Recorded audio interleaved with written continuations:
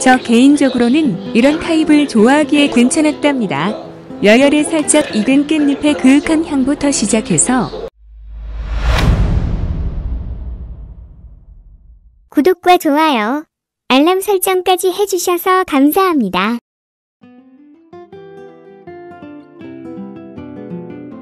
언뜻 보면 직장인이 점심시간에 먹을 만한 금액대의 메뉴는 아니지만 저는 이렇게 컨텐츠 만들려고 사비를 털어서 장어탕을 주문했답니다.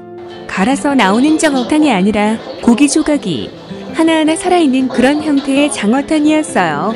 국물의 묘미를 좋아하시는 분들에게는 아쉬울 수도 있지만 저 개인적으로는 이런 타입을 좋아하기에 괜찮았답니다.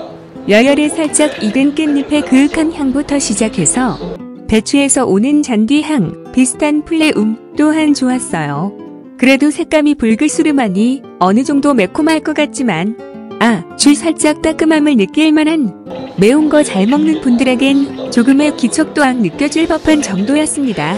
거기다가 장어 한 조각에서 느껴지는 생선살 향, 내지는 껍질의 향일 수도 있는 그 향이 만족스러웠어요.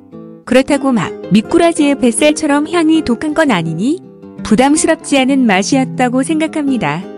반찬들 또한 대체적으로 양념이 강하지 않아서 장어탕의 맛을 초월하는 존재감 없이 무난하게 역할을 하는 것 같아서 대단했던 것 같습니다.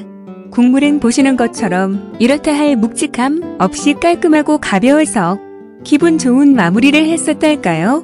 하하.